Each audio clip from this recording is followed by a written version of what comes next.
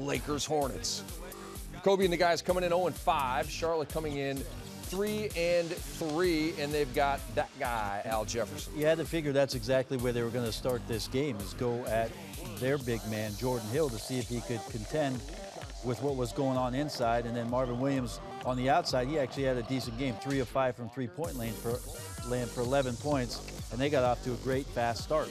Kemba Walker scoring. He had 17. And then Robert Sacre misses the free throw. It's recovered by Wayne Ellington. Ed Davis throws it down over Max Hill. Well, all night long, the bench has found a rhythm here. They brought some energy, which got the Lakers back in this game, along with none other than Kobe Bryant. Sick reverse by Kobe, who had 21 points, six boards, four assists in the game.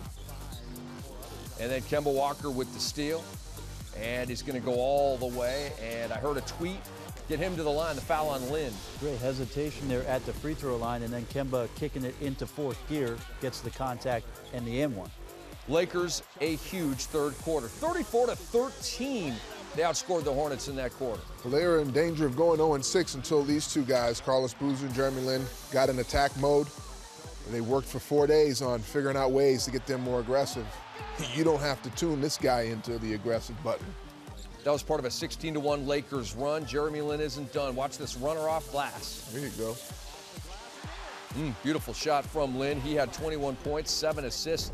His best game as a Laker. We go to the fourth quarter, and the Lakers having fun now.